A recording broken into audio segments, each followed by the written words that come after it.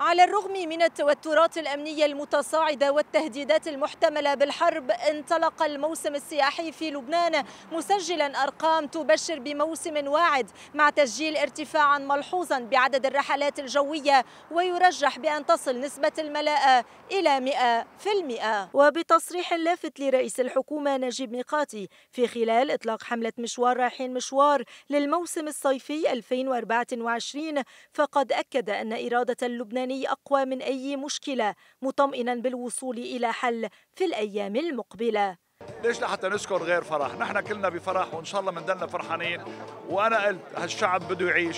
وإن شاء الله ما في شيء بيوقف بوشه هلا أكيد عم نمرق فيه كثير صعب بس كلبنانية نحن معودين نوقف حتى لو قد ما كانت الوقعة صعبة عم نوقف أكثر وأكثر في أعداد من السواح الزوار العرب عم بيجوا أيضا. رغم مع الأسف قرارات التحذير اللي عم تطلع عن حكومات بعض الدول العربية. لكن إرادة الحياة عند اللبنانيين أنا بحسها أقوى.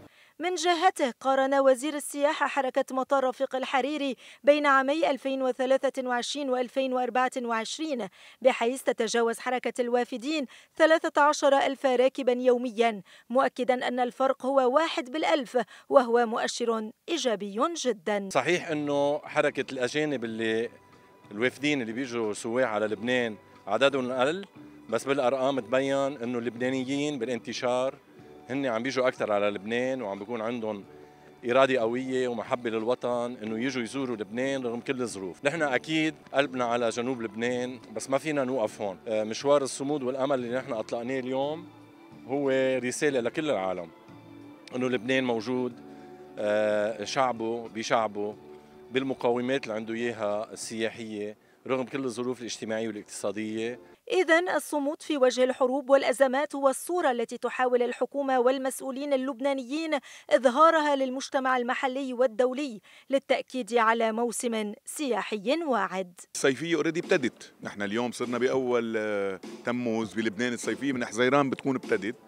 صيفية صعبة علينا بالمعنى إنه اليوم نحن بظرف بحروب موجودة حروب على المستوى الإقليمي كله وخاصة حروب عنا بفلسطين المحتلة وحروب على مستوى الحدود اللبنانية. فبالتالي نحن بدنا نضلنا صامدين مش بس عم نحارب وإنما أيضا عم نفرض الاستقرار الداخلي اللي من خلاله عم نقدر نعيش آه هذه الأيام اللي عم تزدهر فيها السياحة رغم كل الصعوبات. بعتقد أهل البلد رح يجوا علما إنه كثير من الدول الأجنبية والدول العربية للأسف عم بيخوفوا إنه آه ما تجوا هلأ وما تجوا.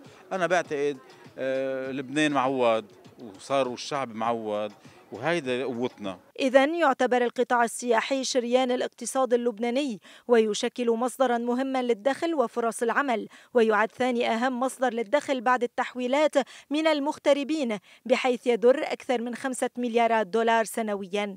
ولكن هذا الواقع خلفه ازدواجية لافتة إذ أن هذه الأرقام الإيجابية في البلاد لا تشمل الجنوب الذي تهجر منه قرابة المئة ألف مواطن وسجل خسائر بقيمة مليار ونصف المليار دولار ودمرت مرافقه وبناه التحتية كما تلفت مواسمه الزراعية. ليكون صيف 2024 مزدهرا بمعظم مناطقه. عدا عن الجنوب. إلينا مراد CNBC عربية بيروت.